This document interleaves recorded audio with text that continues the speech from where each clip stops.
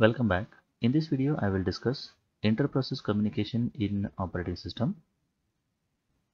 Whenever we talk about process in operating system, there are two type of processes exist. The first one is known as independent process. A process is independent if it cannot affect or gets affected by the other processes which are executing in the system. Such a process is known as independent process because it is not going to affect any other process and it is not getting affected from any other process in this case. The second type of process is known as cooperating process. A process is cooperating if it can affect or gets affected by other processes executing in the system over here. Whenever we have a cooperating processes uh, in a system, uh, we need to establish some inter-process communication strategy so that they can share the information over here. So there are mainly two kind of uh, inter-process communication exist in operating system. One is known as shared memory system. Another one is known as message passing system. We will try to understand each of these particular methods uh, in detail one by one. The first one is uh, known as shared memory system. In this case, a region of uh, shared memory is created within the address space of the process which needs to communicate. For example, in this case uh, let us say that process a and process b wants to share some information. So first we need to create what is that called as the shared memory here. And whenever a wants to send some information that will be placed into this particular shared region. And whenever the information is available on shared region that will be read by this particular b so that a and b can communicate with one another in this particular case here. So this is a simple strategy what we can follow that is known as shared memory system over here but one very important thing we need to remember when it comes to shared memory system is whenever we don't have a space into this particular shared memory, the process A has to wait because there is no space onto this particular shared memory. And if you don't have any message on this particular shared memory, the process B cannot read that particular thing. So at a particular point of time, either process A can use this particular shared memory or process B can use this particular shared memory, not uh, A and B at the same time over here. Coming back to the second type of inter-process communication that is known as message passing system. Again in this case uh, process A and B wants to communicate with one another. So what they do over here is uh, uh, they will send that particular information to this particular kernel. From that particular kernel again the particular message will be delivered to the destination over here.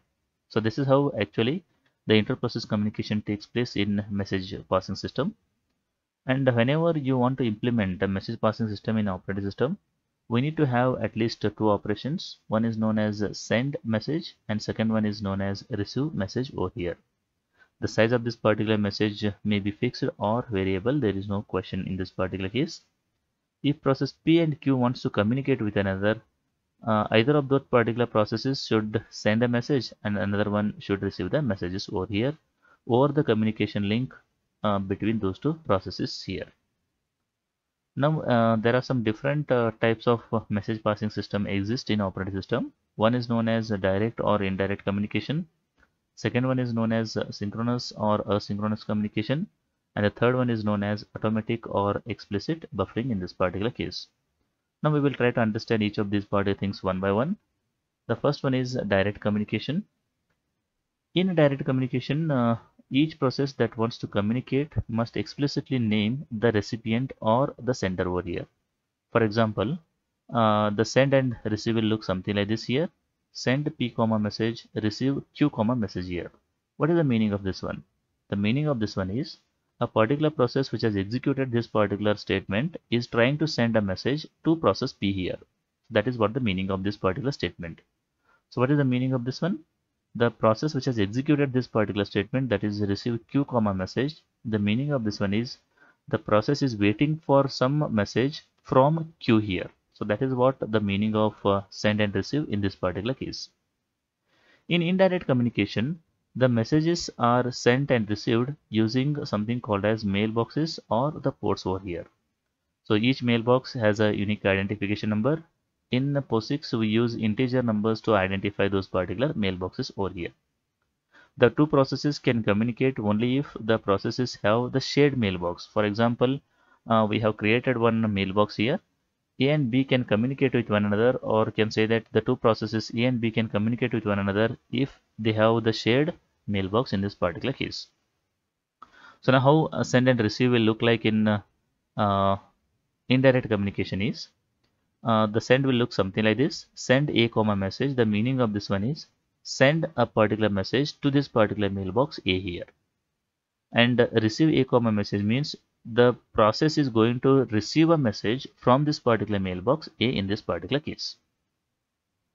Now coming back to the next one there is something called as synchronization or you can say that synchronous or asynchronous uh, message passing. The synchronous and asynchronous message passing is also known as blocking or non-blocking uh, message passing over here. Now what is uh, blocking? There are two kind of things can exist blocking send and blocking receive over here. In blocking send whenever a particular process has sent some message it will block itself until that particular message is received by the receiver in this case or that particular message has been put into this particular mailbox. So that is what is called as blocking send in this case. What is non-blocking send whenever a particular process sends a message to another process, it will not block itself or it will not wait for that particular message to be delivered. It will continue its work without waiting here. So that is what is called as non-blocking send in this particular case.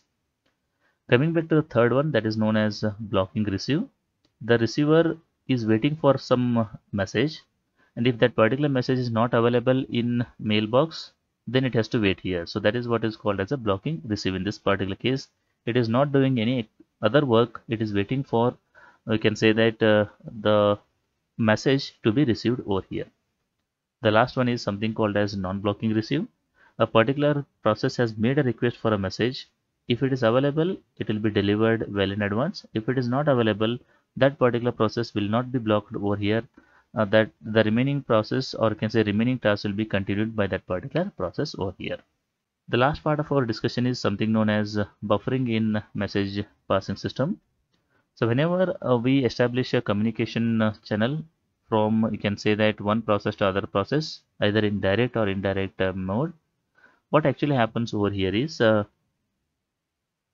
uh, the the message which is being sent by the sender has to be stored into something called as a temporary queue once that particular message is available in temporary queue the receiver can receive that particular message here Basically, that particular buffer can be implemented in three different ways. The first one is known as zero capacity. The queue has the maximum length of zero. That is nothing but whenever a particular process has sent some information, there is no space to store it. Immediately that has to be delivered to the receiver in this particular case.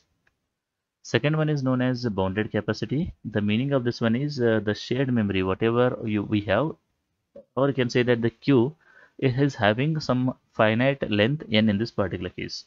If the queue is not full, then the new message can be sent by the sender. If it is full, it has to, you can say that wait for some time so that some uh, space is available on that particular queue over here. The last one is something known as unbounded capacity here. The queue's length is potentially infinite. In this particular case, we don't have any limit on that particular queue length. It is uh, potentially infinite or you can say that countably infinite over here. Thus any number of messages can be uh, sent into that particular uh, queue and then they can wait for the receiver to receive those particular messages over here. So in this video i have discussed what is inter-process communication. I hope the concept is clear. If you like the video do like and share with your friends. Press the subscribe button for more videos. Press the bell icon for regular updates. Thank you for watching